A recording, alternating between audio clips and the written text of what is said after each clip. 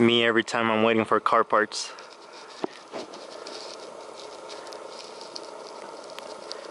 I'm sure we can all relate to this. What's up everybody? Welcome back to another video. So a good friend of mine just got here and we are going to be working on his 2010 Subaru WRX STI.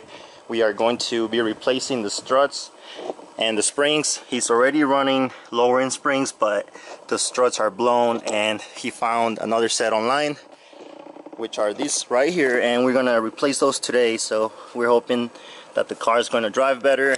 It definitely feels really shitty right now. So, and uh, we're also to try and put some wheel spacers. See if we can make that car look wider. So stick around and we'll see how this turns out. We just got done with the first wheel. Added the spacer on it, and you guys can tell a big difference. Sticks out way more. And honestly, we think it looks way better, so we're gonna keep those on. That's still the one without the spacer. And that's the one with it. So it makes really big difference. We're gonna keep them on and see how it looks once we get done with all four wheels.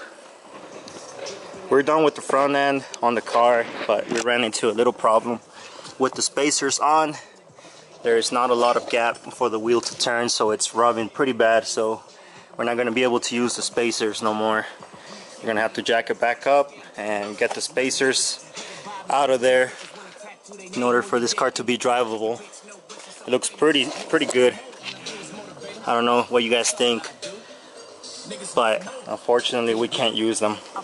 So we're gonna get those out of there and then move to the back, replace the two rear struts, and then we should be getting done soon and we can take it for a good drive.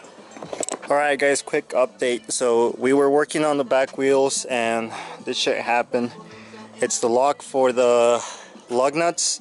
It cracked so we were not able to finish uh, the passenger rear. So we're gonna go out and see if we can find this lock.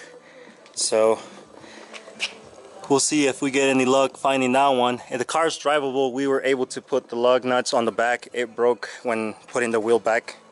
So it should be drivable now. We're gonna go out and see if we can find this key somewhere. They're all different, so I don't know how hard it's gonna be to find it, and hopefully we can finish the other side. So we kind of got lucky. We went to a tire shop and they had the same lock for the lug nuts or key. So we are back in business. We're heading back home.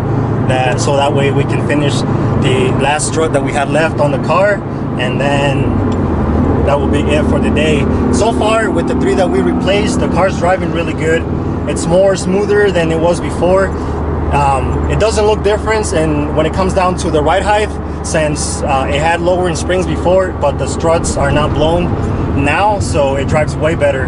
So we're gonna head home now we're gonna finish this and then I think that's gonna be it. And we are all done. As you guys can see looks just like it did before. It didn't drop more than what it used to be but it definitely drives better way better. So hopefully they last a couple more thousand miles I think he paid a hundred dollars for the Settle 4 with the struts so it was not a bad deal at all